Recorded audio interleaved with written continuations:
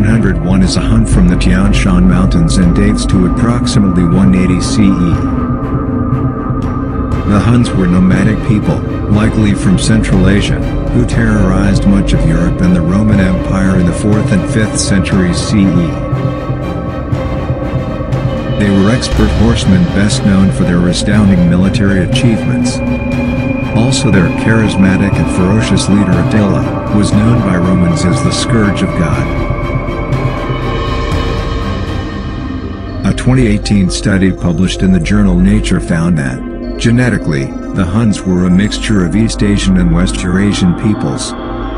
Specifically, the author's conclusions strongly suggest that the Huns were descended from Xiongnu peoples, and that as they moved westward, they incorporated West Eurasian peoples, such as the Scythians or Sakas. DA101 belongs to Y-DNA haplogroup R1AZ2124, a subclade of R1AZ93.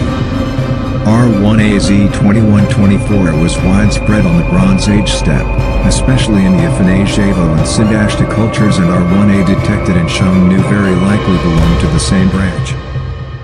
Today, R1AZ2124 is most frequent in Kyrgyzstan and Afghanistan, but is also widespread among Karachay Balkars and Bashkirs.